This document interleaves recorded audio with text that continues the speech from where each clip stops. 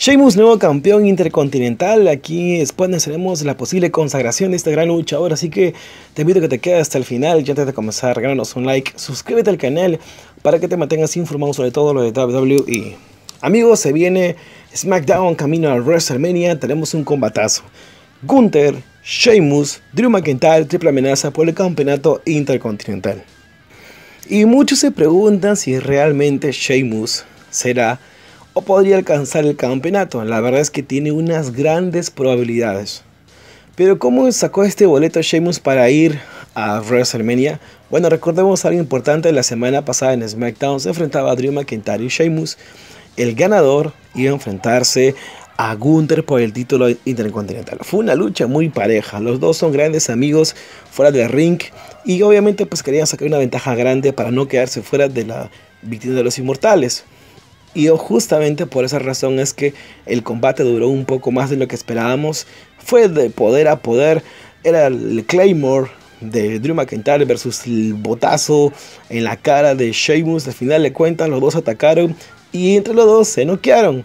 Y al final no teníamos todavía un ganador fijo. Hasta que Gunther apareció para atacar a los dos.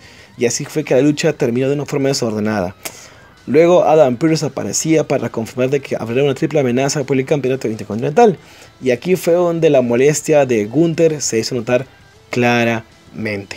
Fue muy duro lo que le sucedió a Gunther, pero ahora el punto aquí es que este combate ya se confirmó. Y también hay algo importante acá. Cuando es triple amenaza, puedes cubrir a cualquiera y ser nuevo campeón. Y lo segundo, es como es triple amenaza, no hay descalificación. Así que pueden usar quizás mesas, sillas o escaleras. Quién sabe, depende de cómo cada uno mueva sus fichas. Definitivamente se pone interesante esto camino a, la tienda de los inmortales. ¿Será que realmente Sheamus alzará el campeonato intercontinental? Bueno, en la historia hasta el momento Sheamus lo ha ganado absolutamente todo y no ha podido ganar todavía este título. Le falta este campeonato. Estuvo a punto de ganarlo en Clash of the Castle el año pasado cuando se enfrentó a Gunther en el Reino Unido pero no lo pudo hacer. Ahora tiene esta gran oportunidad y justamente porque es una triple amenaza donde puede cambiar el rumbo de la historia.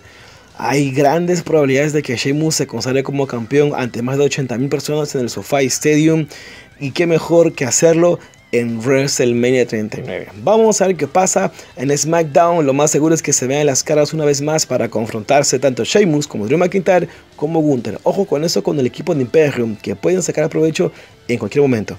¿Qué opinas tú? ¿Ves a Sheamus como nuevo campeón intercontinental? Por favor, deja tus comentarios allí. Y si te gustó el video, déjanos tu like, suscríbete al canal para que te mantengas informado sobre todo lo de WWE.